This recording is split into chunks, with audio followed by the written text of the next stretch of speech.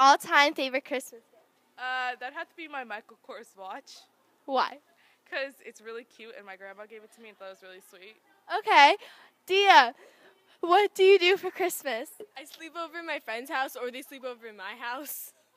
Okay, thanks. for Christmas. Uh, oh, can I hold it? Okay. um, usually all of my family gets together and we all eat and like we have a huge Christmas tree and it's just fun because we all come together and stuff and it's awesome to gather. So yeah. Okay, okay. Uh, Tommy, what was your favorite Christmas gift ever? You know, this is not an easy decision, but I think when I was in second grade, I got a Spark scooter. That was pretty nice. Okay. What about you? What was your favorite Christmas gift? Um, I gotta say, I'm actually getting a computer for Christmas. It's actually gonna be, it's really powerful. Uh, uh that was bad. What is your favorite Christmas gift ever?